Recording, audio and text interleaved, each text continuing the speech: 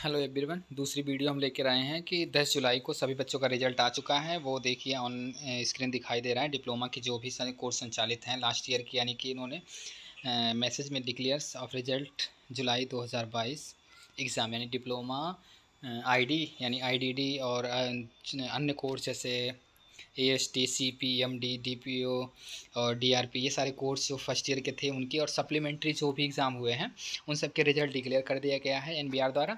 तो आप लोग फटाफट अपने साइट पे जा करके रोल नंबर एंट्री करें और अपना रिज़ल्ट चेक कर लें। रिज़ल्ट चेक करने के बाद जैसा कि हमने सेकेंड दूसरी वीडियो में अपलोड किया हुआ है कि जिन बच्चों के रिज़ल्ट आ चुके हैं, वो लोग कृपया करके रिज़ल्ट अपना चेक करें, और जिसका भी रिज़ल्ट नहीं आया है, यानी कि मान लीजिए बैक आया है सीधा सीधा समझो कि आप जो बच्चे फेल हो गए हैं, वो दूसरी वीडियो में हमने अपलोड किया हुआ है तो उस वीडियो को आप लोग देख लीजिए। उसमें क्या क्या चार्जेस हैं, सारी जानकारियाँ आप लोगों तक पहुँचा दी गई हैं।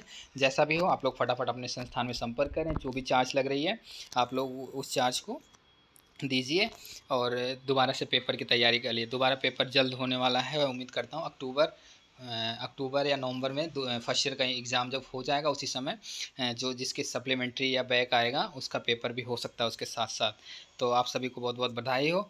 आप लोग रिज़ल्ट आ चुके हैं फ़र्स्ट ईयर के और बैक डेट के सभी सॉरी, सप्लीमेंट्रीज़, जो सप्लीमेंट्रीज़ के एग्ज़ाम हुए उसका भी पेपर रिज़ल्ट आ चुका है और जो जिनके नॉर्मल फ्रेश थे उनके भी जो है रिज़ल्ट आ चुके हैं। तो आप लोग फटाफट एनबीआर के साइट पर जाइए और अपने रिज़ल्ट चेक कर लीजिए।